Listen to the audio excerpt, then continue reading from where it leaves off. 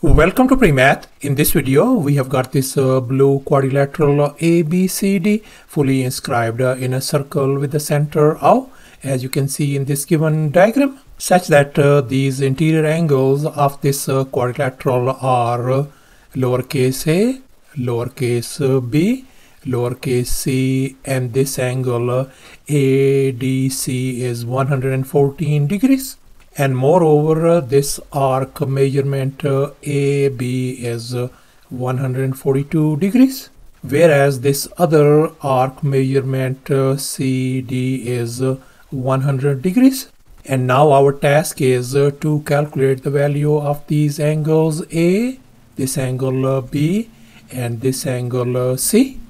Please don't forget to give a thumbs up and subscribe.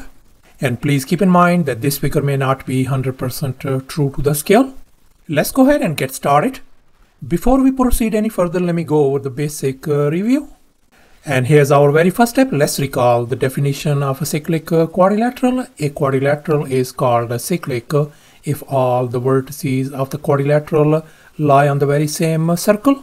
As you can see in this uh, given diagram, uh, this quadrilateral ABCD is a cyclic uh, quadrilateral since all uh, of these uh, vertices uh, lie on the very same circle. And moreover, the opposite angles of a cyclic quadrilateral have a total of 180 degrees.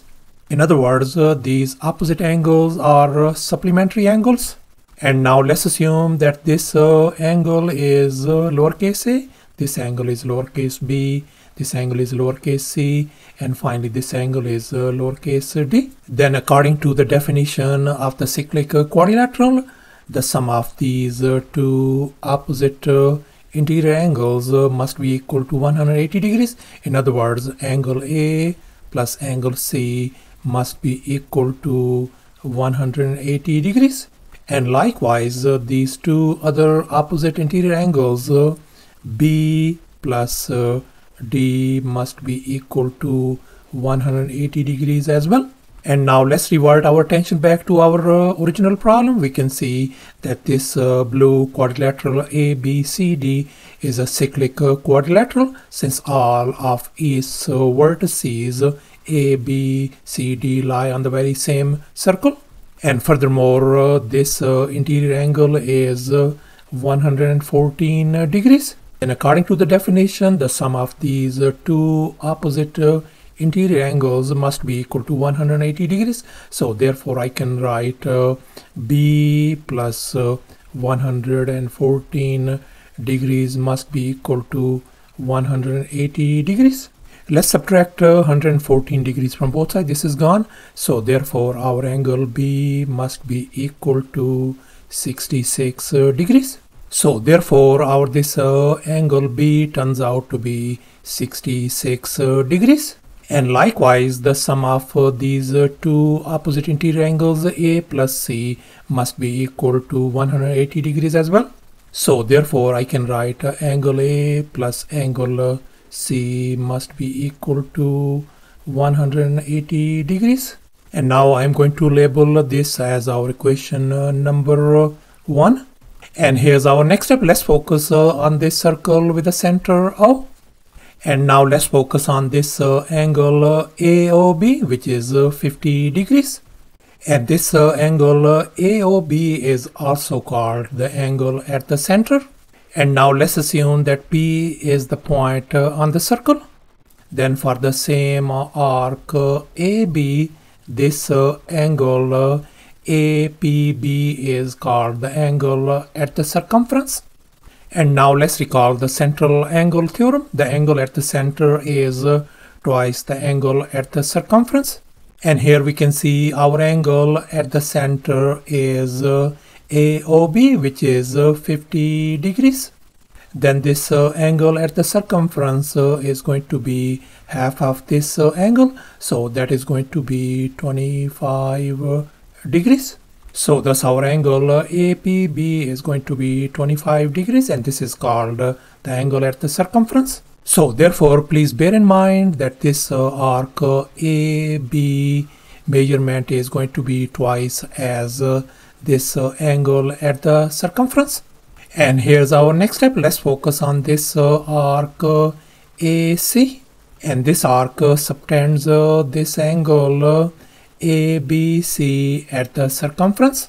And we know this angle at the circumference is uh, 66 degrees. Then we know from our previous review, this uh, arc uh, AC angle is going to be twice of uh, 66 degrees. So this arc AC angle is going to be 2 times 66 means 132 degrees. So therefore our arc AC measurement turns out to be 132 degrees. And we know that this uh, arc CD measurement is uh, 100 degrees as you can see over here. So therefore uh, the measurement of this arc AD is going to be 132 minus 100 that means this arc AD measurement turns out to be 32 degrees. So therefore we figured out our this arc AD measurement as 32 degrees. And here's our next step. Let's focus uh, on this uh, arc BD. And we can see this uh, arc BD measurement is going to be 142 degrees plus uh, 32 degrees let me go ahead and add these one that is going to give us uh, 174 degrees. So thus our uh, arc measurement uh, BD turns out to be 174 degrees. And now let's make an observation. We can see this arc uh, AB subtends uh, this angle at the circumference which is angle C. So therefore we can see that this angle at the circumference is going to be the half of this arc angle so that is going to give us the angle at the circumference is going to be 87 degrees so therefore if our arc measurement BD is 174 degrees then our angle at the circumference BCD is going to be 87 degrees as you can see over here so thus our angle C turns out to be 87 degrees. And now let's focus on this uh, equation 1.